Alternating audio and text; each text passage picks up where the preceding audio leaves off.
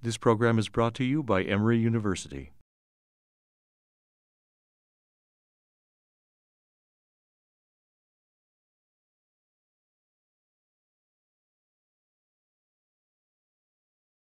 Good morning, everyone. Uh, Welcome to Heart and Vascular Grand Rounds. This morning, we have a special visitor today.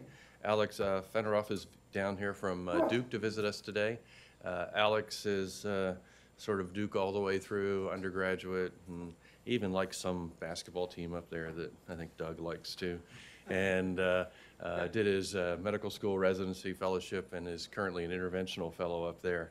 Uh, He's also has uh, one of the AHA, very prestigious fellow to faculty transition grants supporting his work in health services research. He's published quite extensively already.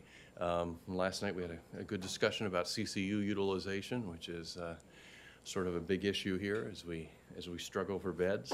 Um, So today, he's going to give us, sort of, tell us a lot about uh, bridging the evidence gap in health services research. Alex, welcome. I just sort of use this and then point with that so people can see it. Okay. So thank you all for having me. It's a tremendous honor to be here. Uh, so, you know, I thought I'd put this slide up, you know, to, to be at the place where, uh, where interventional cardiology was uh, invented in the U.S. as, a, as an interventional cardiology fellow. Tremendous honor, very humbling. Uh, this is actually the last interventional cardiology type slide that I have. So if you're expecting discussion of balloons and catheters, I'm sorry, I guess you can leave. Um, So this is this is the uh, the first time I was ever in Atlanta. It was uh, it was 2006. I was a, a junior at Duke. I was covering the basketball team for the newspaper, and I came uh, for the for the Sweet 16, and I thought the Elite Eight. Uh, and, and Duke was number one at the time, and, and they lost to LSU, and it was, it was very disappointing. So hopefully this visit uh, to Atlanta is better than the last time I was here.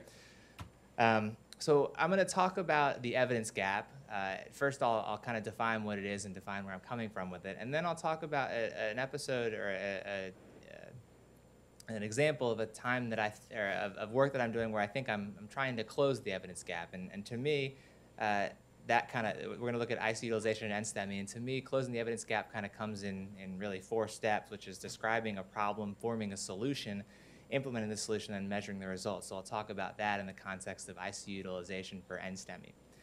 And then I'll talk more broadly about how we can redesign clinical research to close the evidence gap and to, and to create more situations where we have evidence to take care of patients in the way that they should be taken care of.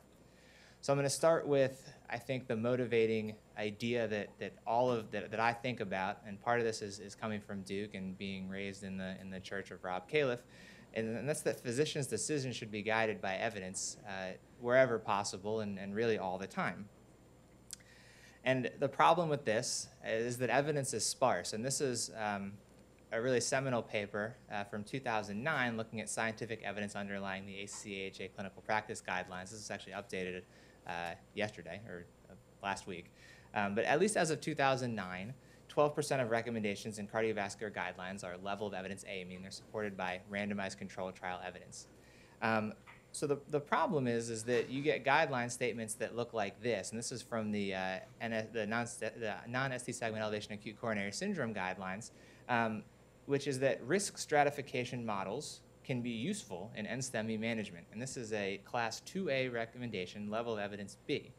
So like many of our guideline statements, I think this one raises more questions than it answers. Which uh, risk stratification model should we use? How should we use them? How should we implement them? And so this is a, a guideline statement like this is really what uh, motivates part of um, the NSTEMI ICU utilization work that I've done. But the other part that motivated is actually the way that uh, we practice medicine at Duke, or we used to practice medicine at Duke when I started my residency and my fellowship. And that's so I would be the CCU fellow, and I would get a call from the ED, and they would say, I have a patient with a positive troponin downstairs. And that was what they would say because they didn't they didn't bother to think about, you know, they didn't want to tell me they had a patient with acute coronary syndrome. They just, they stuck with positive troponin. And that was because the policy when I started at Duke was that if you had an NSTEMI, you were admitted to the CCU. Regardless of, of how sick you were, you could have no chest pain, you could have a troponin that was 0.1, uh, you know, uh, microgram per deciliter above the upper limit of normal, you were coming to the CCU. And at the same time, we had patients on dopamine and dobutamine drip sitting on the floor with heart failure. And as the CCU fellow, this was kind of infuriating because I was taking patients that weren't sick to the CCU, and it felt like a tremendous waste of resources. So this motiv- motivated me to look at ICU utilization uh, more broadly in the, in the national landscape. And what we did was we used the Action Registry Get With the Guidelines, which is a national quality improvement registry that enrolls patients at about 600 hospitals nationwide, consecutive patients with MI. And we actually linked this to uh, Medicare claims data to get ICU utilization. And we measured the proportion of patients with initially stable NSTEMI that went to the ICU at all of these hospitals. And you know, initially stable we defined as absence of cardiac shock or uh, cardi- cardiogenic shock or cardiac arrest at the time they showed up to the hospital. So what you can see here is that there's essentially a bell-shaped distribution of the portion of patients with NSTEMI that went to the ICU, with some hospitals admitting no patients uh, with NSTEMI to the ICU and some admitting almost all of them. The median hospital admitted about 38%. So this sort of uh, variability on a nationwide level suggests that maybe there was uh, not a lot of rationality in the way ICUs were utilized nationwide. But of course, you know, hospitals could have different case mix. They could be different types of hospitals. So we wanted to look at this further. So we divided the hospitals into low, intermediate, and high ICU utilization hospitals, and we described hospital characteristics and patient characteristics of each of those hospitals. So when you look at hospital characteristics, we can only define this really broadly, but you know, this, the low, intermediate, and high ICU utilization hospitals, the same proportion had CT surgery available, the same proportion were academic hospitals, and the mean number of beds was pretty variable, but at least if you look at low and high ICU utilization hospitals, there wasn't a tremendous difference. Now, of course, case mix could be different at these hospitals, so we looked at that as well. And what you see is that patients at low, intermediate, and high ICU utilization hospitals were the same age. Similar proportions had prior MI, prior heart failure, heart failure on presentation, their heart rate and systolic blood pressure on presentation were about the same. Initial creatinine, initial troponin as a ratio of the upper to normal, about the same. And their action risk score, which is kind of a, a similar to the GRACE risk score, combines all of these into, into one number, was the same in all of the hospitals. So, you know, from this, we can, we can say that case mix isn't different, hospitals aren't different, and they're using, uh, they're, they're, they're admitting different proportions of patients to the ICU.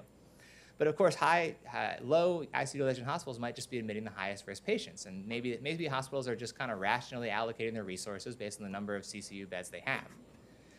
So we looked at the action ICU risk scores, the, sorry, the action mortality risk score of patients that went to versus didn't go to the ICU at low, intermediate, and high ICU utilization hospitals. And you can focus on kind of this box and whisker plot over here.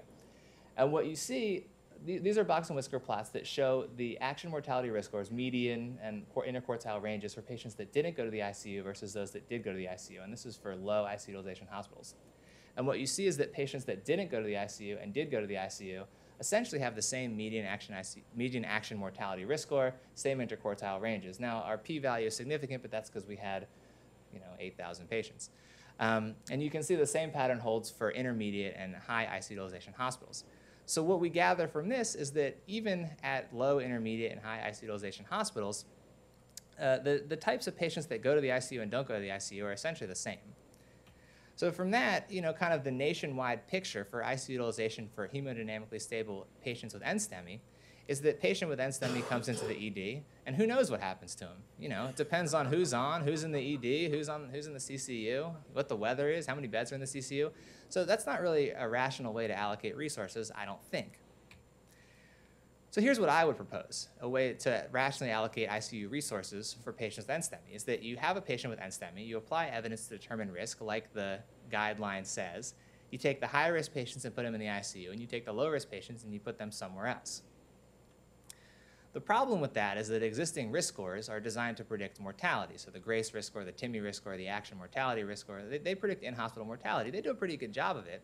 But need for ICU might not be captured by mortality alone. So patients can have cardiogenic shock, they can have cardiac arrest, they can have heart block, respiratory failure, and survive, and not and you know and not be captured in these risk scores.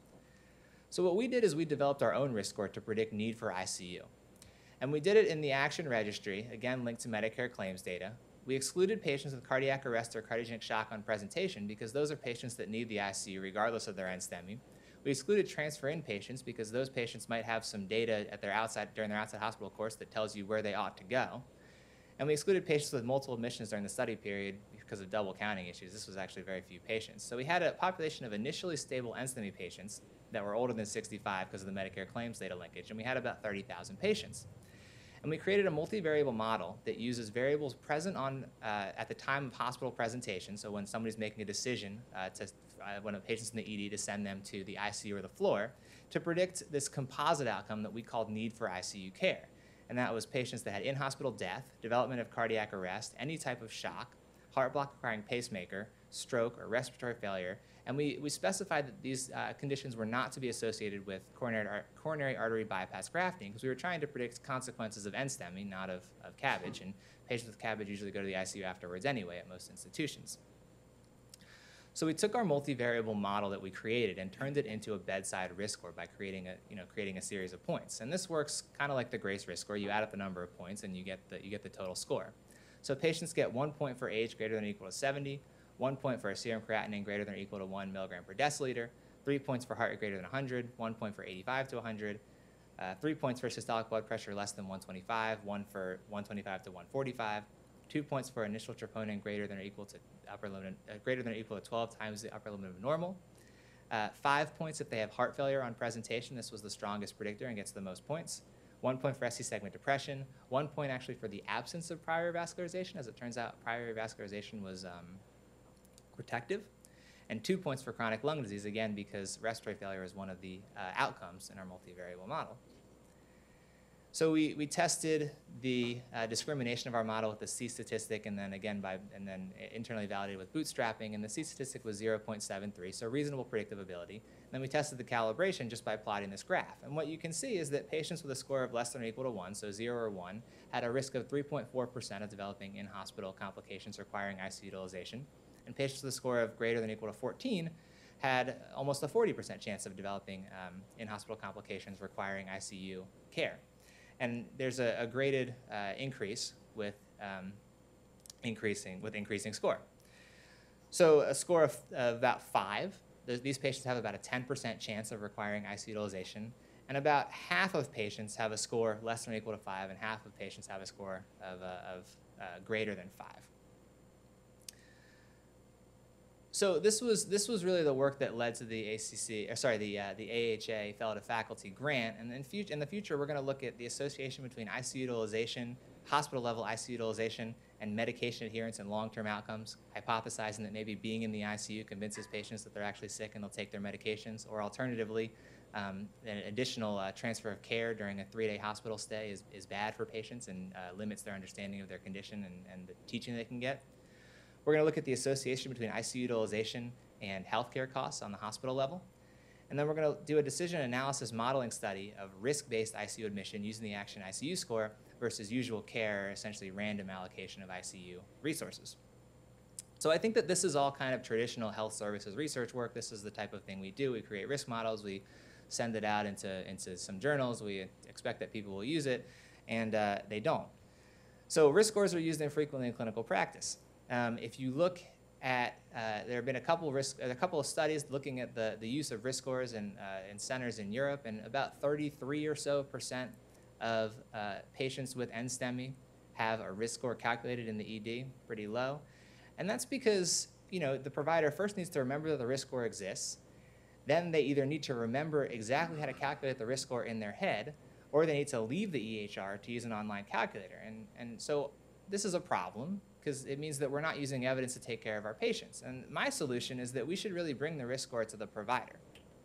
And the metaphor I like to think about is this taking care of patients using the EHR, being a, a doctor a lot of times, is like digging through a really dirty closet. All the, all the stuff you need is in there, uh, but unless you use it a lot, you don't know where it is. So, you know, when we're taking care of patients with MI, we know exactly where the risk score calculator is in our brains, and we can reach into the closet and find that second red shoe to go with the outfit that we need, and, and it all works out. For an emergency department doctor, a general practitioner, or, a, or a um, you know, a family medicine doctor, whoever is taking care of these patients, um, you know, outside of the cardiology setting, they might not even know that that red shoe is in the closet. So instead, you want to make things easy for people. And you know, this is how George Jetson got dressed in the morning, and this seems a lot easier. Or actually, this is how he got dressed when he got home from work. But this this seems a lot easier than digging through a closet. You know, you give people the information they need at the time that they need it, and you know, get them headed in the right direction. So what we did is we decided to build our Action ICU risk score into our EHR at Duke. And this, this was the implementation phase of what we did. And the first thing that we had to do, which I think was a really big learning experience for me, was we had I had to get everybody that was involved in the care of patients with NSTEMI at a, at a large hospital with more opinions than people on board uh, on how we were going to do this. And so the first step was what was actually what, what uh, threshold risk score were we actually going to choose? And that, this was a series of discussions amongst the ED and the general cardiology and, and the ICU, but ultimately settled um, on a score of five. So patients with a score of five or less, we're going to go to the floor. Patients with a score of, of greater than or, or six or greater, we're going to go to the CCU. And if you remember, before we did this, we were sending all of our patients with NSTEMI to the ICU. So we were going to decrease ICU utilization by about half by doing this. So this was this was an accomplishment, and uh, you know, going to be an accomplishment. We'll see. I'll, I'll, show you the data for whether it was. Um, so what we did is, is we worked with um, the IT folks at, at Duke and, and the Epic EHR uh, to build a essentially a decision aid um, that shows up in the EHR for these patients, and it's a modified best practice advisory. So it triggers automatically in the ED on, a on patients with positive troponin. And it says this patient might have NSTEMI based on the positive troponin. And it tells, patient, it tells the ED providers to click on this hyperlink to go to the risk score calculator. They can click dismiss to get rid of it temporarily if they actually want to, you know, if they, if they haven't seen the patient yet and they want to and they want to go uh, interview them and talk to them. And then there's a drop-down menu that lets them cancel the calculator forever. So they can, and the reason is they might want to cancel it or if the patient has a STEMI and that's why they have a positive troponin because that's not an appropriate use of the risk score calculator. If they don't have an NSTEMI, you know, or if they don't have a, what we call it, you know, they don't have a type 1 MI, um, so maybe they maybe they're coming in, maybe they have renal failure, maybe they're coming in with shock, septic shock, and they have and they have a positive troponin. So that's not an appropriate patient to calculate the risk score. And then if they have shock or cardiac arrest and need the ICU anyway, we didn't want them to calculate the risk score. So they can, they can use this drop-down menu, get rid of the risk score calculator forever if it's not appropriate to calculate. So after talking with the ED doctors, we decided to build this so it sits on the side of the screen to allow for simultaneous chart access. And this is what it looks like uh, for the ED providers. There are five fields that auto-populate, age, heart rate, blood pressure, creatinine, and troponin, and then four yes or no boxes that the ED doctors click uh, to answer questions. And one of those is heart failure on first medical contact, um, because that's something you can't get from a from chart review. And the other ones were ST depression, prior vascularization, and chronic lung disease, because it was a little bit hard to capture those um, with the with the vagaries of the EHR system.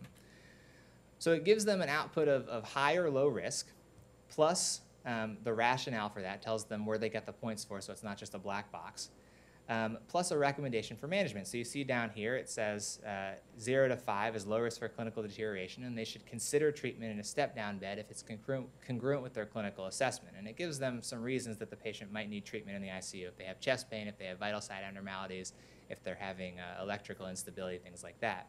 And I think that one of the important things that, that we did is we weren't trying to prescribe care to ED doctors, um, but we were trying to guide them in, in the right direction. Um, so I'll talk a little, we have, we have data for the first six months of, of the rollout here, so I'll talk a little bit about that. We're gonna have data through 12 months pretty soon. Um, so this is, this is very preliminary, but you know, when, when you're evaluating an implementation, you wanna look at uh, both you know, fidelity to the intervention. Did the people you were trying to change their behavior, did you actually change their behavior? Did they use your intervention? And then second, how did it, so we look at ICU utilization. So how did it affect uh, the way we took care of patients at Duke Hospital? So the first thing is that this triggered on 462 patients over six months, which seems like a lot, except you know when you divide that by 26, uh, 26 weeks, it triggered about 17 times per week. And when you divide that over all the ED providers that are seeing patients with ED, that's actually not that's not a lot of times per provider. Um, but 54% of the time it was hidden until the patient, the, the risk calculator was hidden until the patient left the ED. So they just clicked dismiss until the patient left the ED. They didn't calculate a score. Not what they were supposed to be doing. 25% of the time they canceled it, presumably because it was inappropriate. 18% of the time they actually calculated a score. 4% of the time they went into the score calculator and didn't actually click calculate. When we look at patients with, a, with, a, with one of their final hospital diagnoses being NSTEMI, we did a little bit better. It triggered on 78 patients over that time. So again, dividing that by six months, that's about 12 patients per month. So, you know, as cardiologists, we think that NSTEMIs are very common. We see them all the time. But as, as ED providers looking at patients that come through the ED, much less common, and I think highlights the need for, for giving them the tools to take care of these patients in an evidence-based way. Anyway, amongst these patients, 44% of the time it was hidden, 13% of the time, cancel is inappropriate. Presumably, those are patients uh, that were initially unstable and needed the ICU. And 41% of the time, a score was calculated. So next, we looked at the proportion of patients admitted to the ICU uh, before and after rollout of our risk calculator. And you know, you can see before is in, is in blue. This is the monthly proportion of patients that went directly from the ED to the ICU. After is in red. And I told you when we started that we were admitting every patient with NSTEMI to the ICU at Duke. As it turns out, right about here, uh, right about uh, a few months before we, before, a few months before this rolled out, we actually published our paper showing national trends in ICU utilization for NSTEMI, and it was pretty clear that Duke was an outlier. So our practice changed uh, before we rolled out the risk calculator, was a bummer for my study, but probably overall good for the institution and for the patients. Um, but you can see that the proportion of patients that went directly from the ED to the ICU was somewhere between 30 and 50% before the rollout, somewhere between 30 and 50% after, so it didn't really make much of a difference in the proportion of patients that went to the ICU. As a safety measure, we wanted to look at the proportion of patients that were transferred to the ICU. So patients initially admitted elsewhere, then transferred to the ICU. Before the rollout, about 10%. After the rollout, also about 10%. Didn't seem to change all that much. At least we weren't hurting people by sending them to the wrong place. Now, this, this looks at the action ICU scores for patients that went to the ICU uh, in blue versus went to the floor in red before implementation here on the left and after implementation on the right. So what you can see is that before implementation, the median action ICU risk score for patients that went to the floor uh, was 5 versus 7 for patients that went to the ICU, but the interquartile ranges are broad and overlap substantially.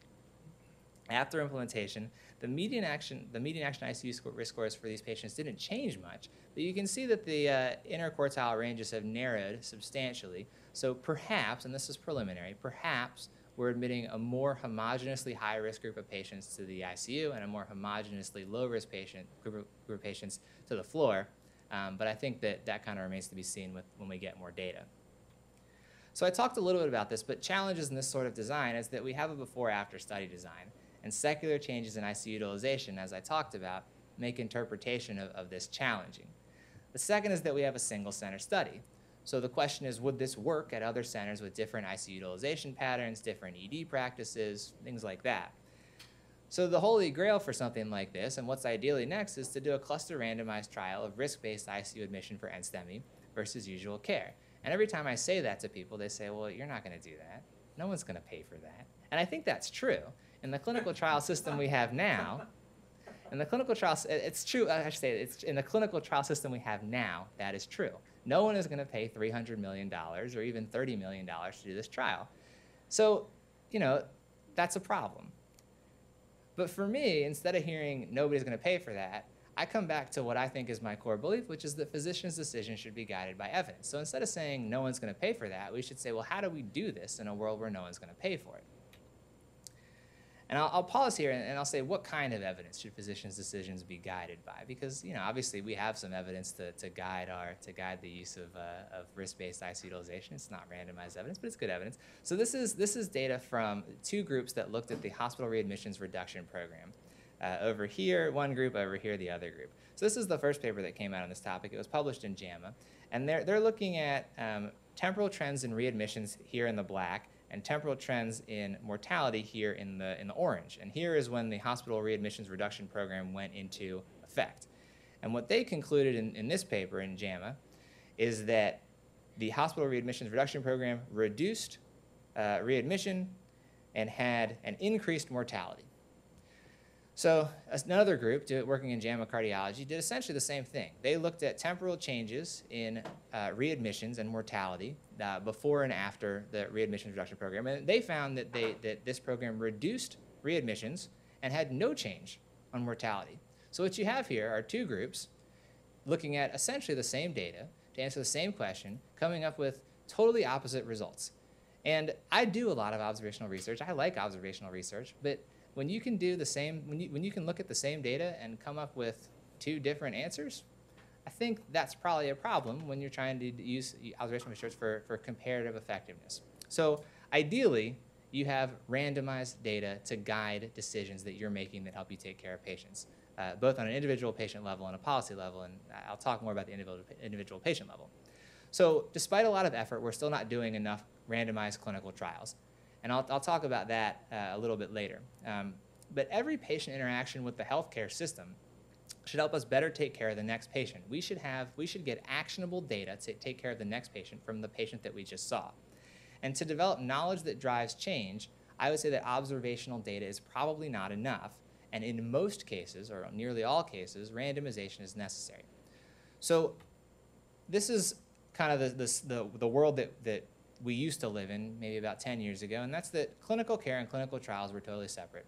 We took care of patients on the clinical side. We enrolled a highly selected group of patients into clinical trials, and we used clinical trials to, in many cases, to guide our clinical care. But you know, there was a lot of understanding that these patients didn't necessarily overlap, and there were issues with doing that. Over the past 10 years, we've kind of developed this concept of the of the pragmatic clinical trial, where clinical trials are closer to clinical care, and we, may ta- we might take some of the data generated for clinical care and use them in the context of clinical trials um, but really, this is, this is essentially a parallel track, and, and it's, only, it's only some of our patients that get enrolled in these pragmatic clinical trials, hopefully an increasing number, maybe not. Um, but these are, these are still kind of, it's, it's a new space that exists in the middle, but the tracks are still largely separate. What we really need is to merge clinical care with continuous evidence generation from randomized clinical trials so that we can learn from every patient that we take care of. And when we do that, we'll have something that looks like a national learning healthcare system where every patient gives us new information to help us take care of the next patient and we continue we can continually improve.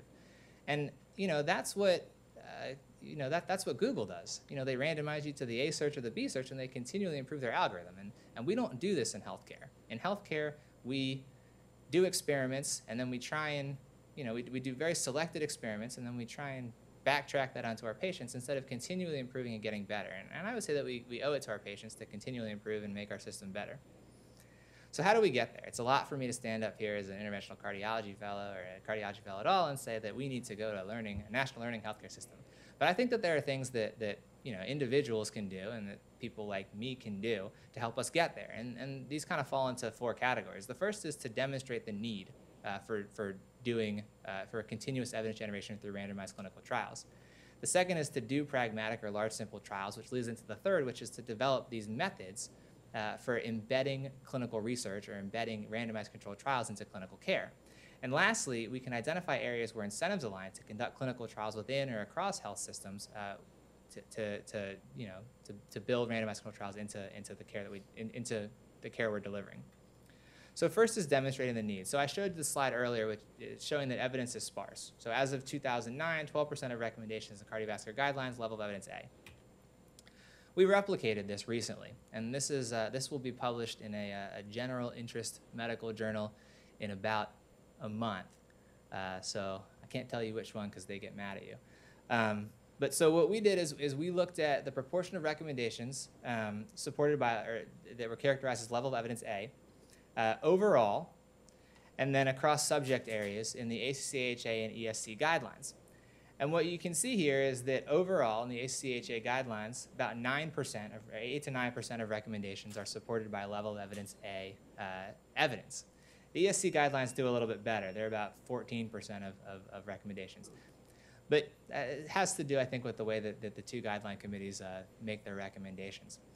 But when you look at this by subject area, general cardiology does pretty well, about 10% of recommendations or so. Coronary artery disease pretty well. But something like congenital and valvular heart disease, you know, 2 and 1% of recommendations in the ACC/AHA and uh, ESC guidelines are supported by evidence from randomized controlled trials. And for me, this, this speaks to the difficulty of enrolling uh, some highly selected patients into clinical trials. We, we can't capture them. And we're talking a lot about personalized medicine and enrolling patients into clinical trials, and taking care of patients based on their phenotypes. Um, but if we can't enroll patients with mitral regurgitation into clinical trials, how are we going to identify patients with very specific uh, genotypes uh, in, into clinical trials? And instead, I, you know, it makes me worry that when we talk about personalized medicine, we're going to talk about subset analyses, which uh, make me, makes me nervous. So to, to, we looked a little bit more closely at, uh, at ACC, AHA guidelines and ESC guidelines, the prior and current versions of guidelines for, for guideline documents that um, have been updated um, in the past uh, 10 years or so, or sorry, in the past 20 years or so.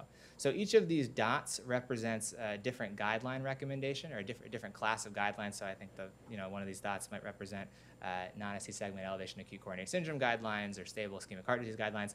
And so we looked at the proportion of level of, level of evidence A recommendations in the current version of the guidelines over here and the prior version. And, and what you can see is there's not some global trend um, towards increased proportion of recommendations level of evidence A, and very similar in the ESC guidelines. And even when we looked at the number of recommendations that were supported by level of evidence A uh, evidence, there was really no change from prior to current guideline recommendations. So despite a lot of people working really hard to build pragmatic clinical trials, do more clinical trials, we're not we're not at least we're not at least building the evidence base um, in a way that makes in a way that, that moves the needle.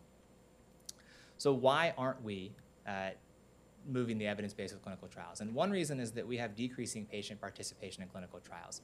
This is an analysis of the of the action registry that we did. Um, this uh, manuscript is in submission. Um, and this, this looks at the proportion of patients at action registry hospitals that were enrolled in a clinical trial during their initial hospitalization.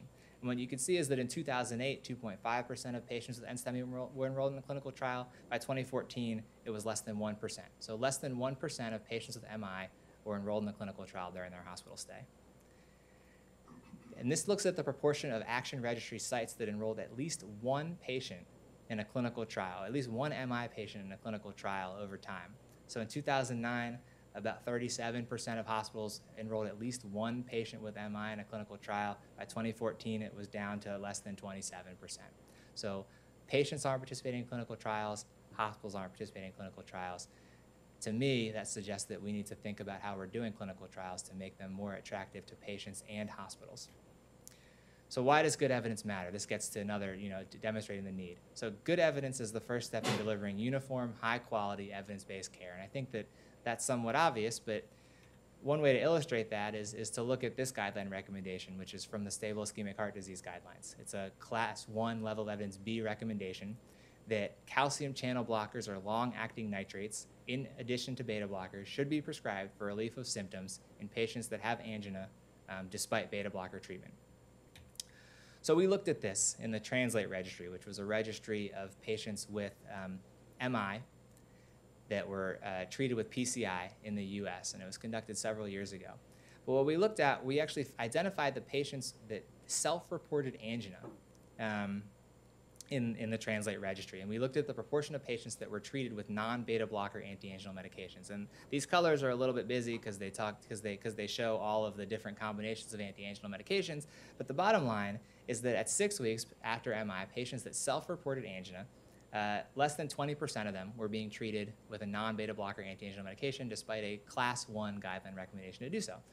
And by 12 months, uh, still, of patients reporting angina, less than 25% uh, treated with a non-beta blocker anti-anginal medication. So in the absence of good data, uh, we have the absence of good treatment.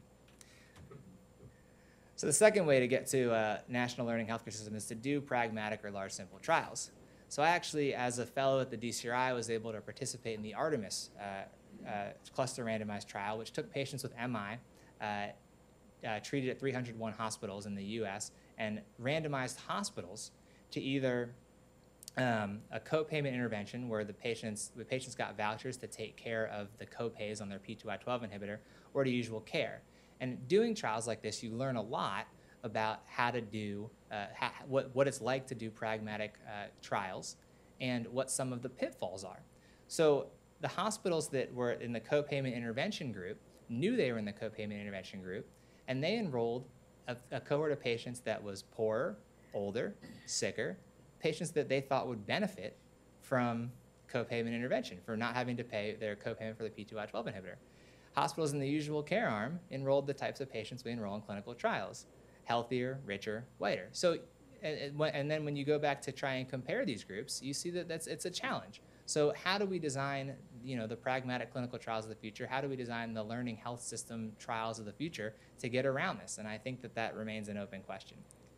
So the second thing we can do is to develop methods. So Artemis measured uh, non-persistence in two ways. Patients were asked at 3, 6, 9, and 12 months whether they were taking their medication.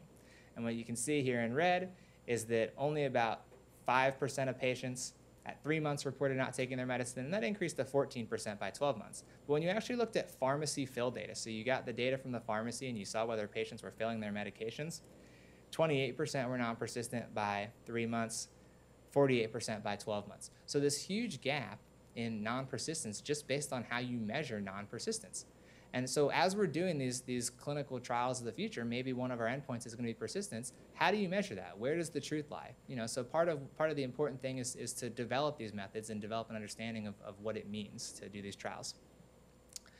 The other thing, the, the other type of methods we have to develop are, are methods for, for getting informed consent. So one of the barriers to enrolling patients in clinical trials is you need a small army of people to enroll them. And so this is work done by, by, by Dr. Dickert here, that they asked patients, so you focus on over here, so they, they asked patients whether they would uh, be okay with verbal consent in a, in a randomized controlled trial. And 60% of patients said they would probably or definitely be okay with it. So maybe that's, you know, one solution to you know, thinking about different ways of consenting patients, maybe one of the solutions to enrolling more patients in clinical trials, enrolling more patients in, in pragmatic clinical trials. And we actually looked at uh, a different way of informed consent in a registry we did at Duke, which, which was the PALM registry. So this enrolled patients um, in uh, primary care and cardiology clinics, uh, basically for a survey and a, and a, and a blood lipid panel. Um, but instead of, instead of doing kind of traditional uh, face-to-face informed consent with a long text page, uh, we developed this video informed consent process. And it was this gamified pathway that patients treated down looking at videos the whole time. Um, they could repeat videos, they could flag for questions, and they got this medal when they finished it, so it, you know, it, it made them happy. Um, and you know, instead of kind of the traditional reading along a long page, we had people from the study team talking to the patients about what being in the study meant. We had videos showing what it would what it would be like to be in the study. And ultimately, about half of study sites approved video informed consent. The other half had some issues with the IRB, the specific language, we couldn't do it. So, what we had was essentially a natural experiment where we could look at the types of patients that were enrolled at video informed consent sites and the types of patients that didn't. So, at video informed consent sites, they enrolled a larger proportion of African American patients, older patients, and patients without college degrees. So, thinking of different ways to do informed consent might help and might help capture kind of a more real world cohort of patients. The other thing is that coordinators at the sites that had video informed consent told us that they felt like they could enroll patients easier. Um, they could hand patients the iPad. They could enroll multiple patients at once. So maybe another another way to um, to better enroll patients in clinical trials, reduce the burden on hospitals and healthcare systems in enrolling patients in clinical trials. Um, so the last thing we can do uh, to get to a national learning healthcare system is to identify areas where incentives align to conduct these sorts of clinical trials. So alternative payment models are growing as a proportion of Medicare expenditures. So 2016, it was 30%. By 2018, 50%. So these types of capitated models are going to uh, reward systems that think differently or think about how they're taking care of patients and um, learn to take care of patients in, in evidence-based ways. And I think here, you know, Emory is a large healthcare system. There's, there's the possibility to conduct, to potentially conduct clinical trials uh, where, you're cluster, where you're randomizing hospitals, randomizing units, or things of that nature. So tremendous opportunity, I would say. So that's, that's all I have. I thank you guys for talking. These are my two kids, uh, Evie and, and Ruthie. Um, they don't know what I do. They don't really care. Um, so thank you guys.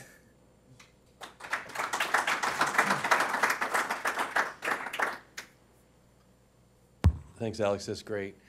So, so I'll start off with some questions. So, you know, a lot of this data come from registries, and and I must admit we're getting a little registry fatigue.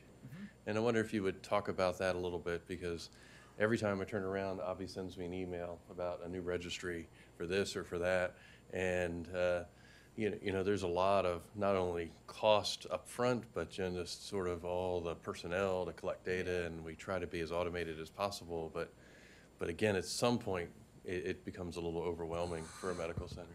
Yeah, so I've, I've you know, I've had the chance at the DCRI uh, to work on the data analytic teams for um, the Action Registry and the Cath PCI Registry, and and I, I agree. I mean, you know, we're, we're collecting a tremendous amount of data, double collecting a tremendous amount of data on so many patients with so many different with so many different clinical conditions, and the the data collection forms can be long. they can be, you know, they, they I think the Cath PCI one is five or six pages now. I mean, that's and and it, it's it's double collected. So I I think, you know,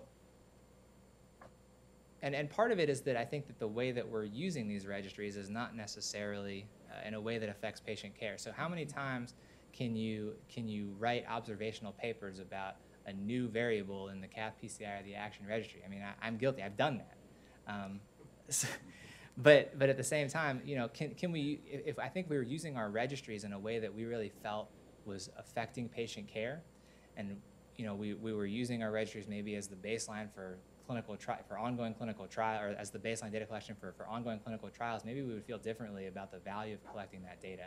And I think that, that that's I think that's kind of where the rubber meets the road is that is that collecting registry data to collect registry data, uh, to me, doesn't move the needle as much as collecting registry data in a way that helps us to improve the care of our patients and really thinking selectively about what data we're collecting, why we're collecting it, how are we going to use it to make our patients better.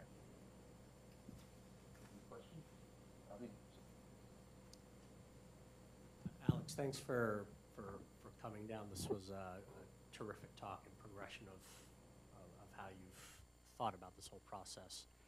Um, uh, It was the same seven, 17 years ago where we admitted patients at Duke for a positive troponin, and I'm glad to see you finally changed that practice, so congratulations to you.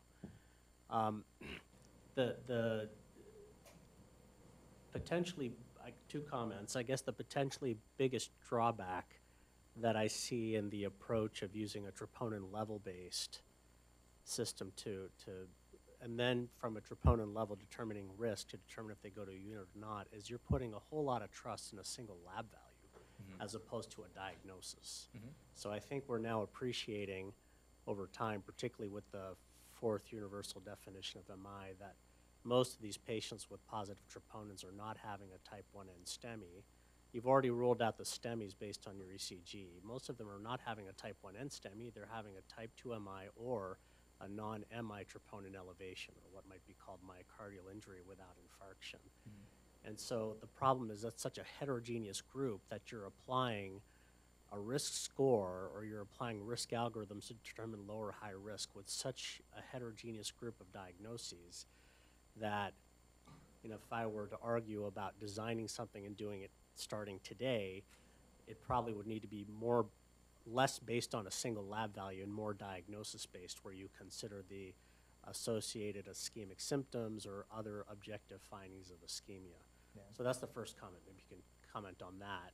Yeah. know. So, so I guess the, the first thing I'll say is that we so we did base it on, a, on an initial troponin value. We've actually changed it now, so it actually we have high sensitivity troponin at Duke. So we've changed it so that it now triggers on a delta troponin. I think that a lot of your comments, um, a lot of your comments, you know, remain. I, I think that that's that's still it's, it's a challenge. So when you're thinking about uh, building decision uh, decision aids into the EHR, part of the challenge is phenotyping patients, right? So how do you identify the patient with the phenotype electronically that you want to capture and you want to apply your risk decision aid to?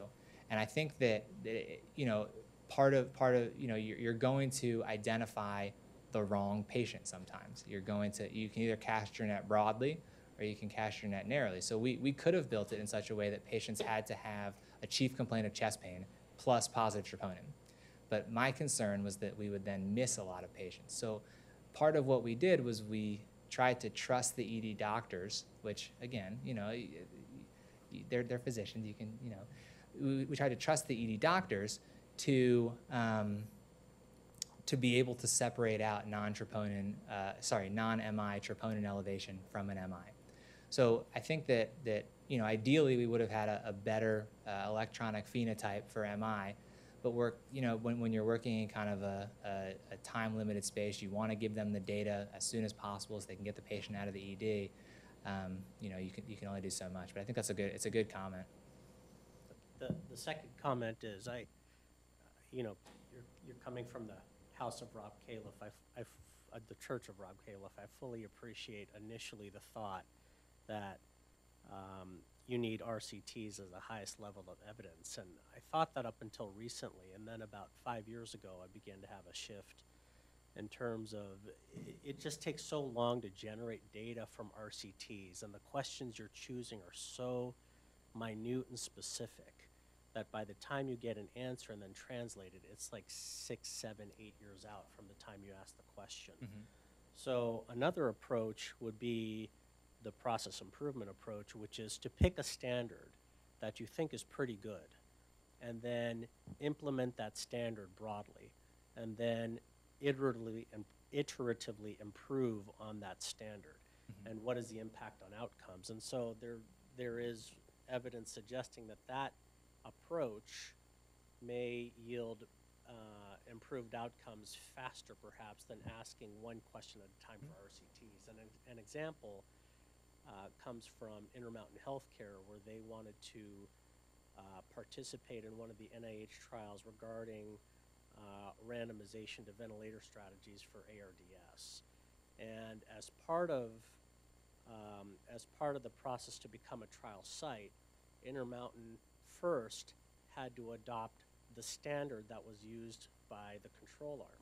And when they did that, they realized that all of their different sites across Intermountain uh, in Utah were using totally different standards. So the first thing they had to do was to get everyone to use one standard, agree on a standard, even if they didn't know what was the best thing, agree on that standard, and then say, okay, now we're ready to actually participate in the trial.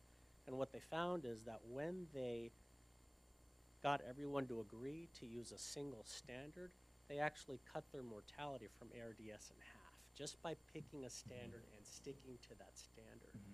So examples like that get me thinking that yes, we know RCTs are very important, they're going to be done, but as you've pointed out, enrollment's dropping, the, the trials are becoming more complicated and complex, the, the questions being asked are, be, are becoming more and more minute. Instead of, if you really want a learning health system, for the questions you identify, pick a standard that's pretty good. Don't worry if it's level of, if it's class one level of evidence A, or if it's class two A recommendation. Pick a standard that you think is pretty good, and then iteratively improve upon that. And mm-hmm. Our experience here, at least, is it's, it's, it's pretty tough to even get people to agree upon and stick to a standard mm-hmm. across our four hospital sites, so. Yeah. Anyway, that's my second comment, thanks. I think I think what I, I think I think that makes a lot of sense to me. What I would what I would say is that there there is potentially, and, and you know this you know this area better than I do, and I you know I, I hate to that, that's a, it's hard it's hard to come in here and tell you how to have, tell you how to do their jobs, or tell people you know my thoughts about what they do are. Um, but I think that, that you do, it's possible, when I, when I say randomized controlled trials, I'm not talking about the pie in the sky randomized controlled trial that we do. I'm saying, you know, pick a standard and stick to it, but then take hospital A and have them switch standards on, on have them switch to switch to a new standard on such and such a date. Take hospital B and have them switch to a new standard on. and So, so you can do stepped wedge designs, cluster randomized designs, things like that. I, you know, I think that I'm not talking about doing kind of traditional randomized trials. I think that that those types of designs, you know, as as an adjunct to the process improvement types of things that, that you're talking about. exciting stuff. And just for the the record, Bob, I've actually had to discontinue more registries in the past two years. than I started, just, you know, So, just, just wanted to make that clear.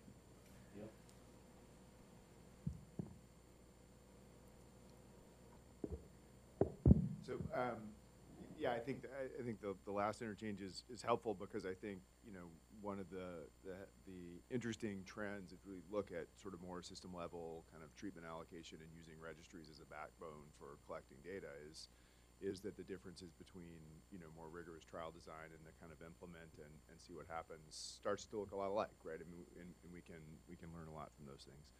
One, one thing I think is, um, I was going to ask is, you know, with regard to kind of support for some of these things, you know, the obvious, the obvious people with skin in the game are various payers, right? So that's not been a platform that's really been effectively harnessed. Um, but if you have the, if you have the, the kind of data collection platforms in place, are there ways to think about using, you know, kind of garnering support from various payers uh, to try to do this? Obviously, there's lots of examples where people are working at cross purposes. I think the most recent one is the ICD shared decision making, where CMS implements a requirement that you have to do it literally the month that the first ever randomized trial of a decision aid for ICDs was funded by NHLBI, and AHRQ is issuing a call for figuring out how to measure shared decision making. So you have three federal agencies working at complete cross purposes. Um, so, so obviously there's a coordination problem um, that can often happen. Um, but I'm but I'm curious about your thoughts on whether there's kind of appetite for, um, you know, on the payer side, ways to kind of harness them as a potential mechanism to support some of these things. It actually does help their bottom line. Right. I, think I think that's a really good question, and I, you know, to be honest, have not have not looked into have, have not really had the chance to look into that myself. But I think that you're right that that's that's an obvious uh, an obvious group of people that that you can think about funding these trials. The challenge is that is that you know. Um, people switch health insurances. You know, the, the system that we have does not really uh, does not really lend itself to that. But I think that there there are systems, and there you know as we move towards a more capitated model, there will be you know there there will be different incentives to, to do things like that. I think that you know whether it's payers or whether it's systems or whoever it is, I think we'll be the ones that pay for these. It's a great conversation and uh, great talk. Um, congratulations on all your work. So, I mean, I think just kind of continuing this conversation about registries versus clinical trials is really germane to health services research. And um, I want to kind of dig in with you a little more about that because I, I sort of agree with you that uh, it, it's not mutually exclusive to run registries, but make the registries not overburden, overwhelming, but then conduct clinical trials within the registries. And if we think about what prevents us from running clinical trials within registries, um, I guess it's it's just the cost and the consent process and then the designing of the studies. Um, so I, I think the consent process is a really, really important part of that, right? Because once you're consenting a patient and you're saying, okay, we don't know there's equipoise here, we've got two different strategies, then you're, you're going to have to a pay for the study uh, because it's not considered clinical trial, uh, it's not clinical care. Um, and the Europeans have done this quite well, right? As you know, they do have, uh, for instance, in, uh, in Denmark, they have these registries that are national registries where data are collected, and then within them, they run clinical trials, like the SWEDEHEART study, for instance, as you know, which was a FFR versus IFR-based study. So I do think there's potential for us, and if you tie that into leveraging third-party payer uh, to help support some of the cost, I think it's it's pretty enticing to head in that direction. Yeah, I mean, you know, the U.S. has a 30, the, the population of the U.S. is 30 times the population of Sweden. Um, you know, more diverse. I mean, if we could, if we could do in, in the U.S. what, what they've done in Sweden, I mean, we'd have a lot of answers to a lot of really important questions. I mean, and one, of, you know, so one of the things, so we actually had a, a registry-based randomized trial in the U.S. Uh, that Sunil Rao ran uh, out of the DCRI, the, the, the Safe PCI study, Safe PCI for women.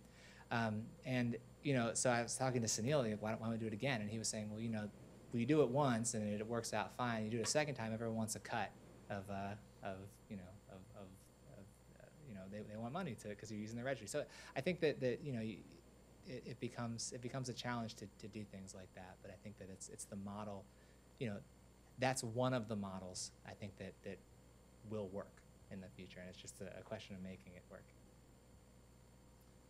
Okay, well, with that, we'll thank you very much for a great talk, and uh, thanks for coming down. Thank you. The preceding program is copyrighted by Emory University.